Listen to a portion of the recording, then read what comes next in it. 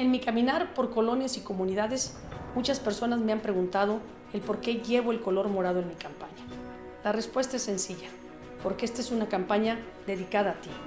A ti que en el 2010 me diste tu voto de confianza para ser presidenta municipal y entregar buenos resultados. A ti que en el 2016 me diste tu voto para la gobernatura a pesar de la terrible guerra sucia en mi contra. Hoy, una vez más, acudo a ti a pedirte tu voto de confianza para que desde el Senado de la República podamos trabajar y alcanzar los sueños que juntos hemos compartido. Este primero de julio, cruza mi nombre en la boleta. Soy Lorena Martínez.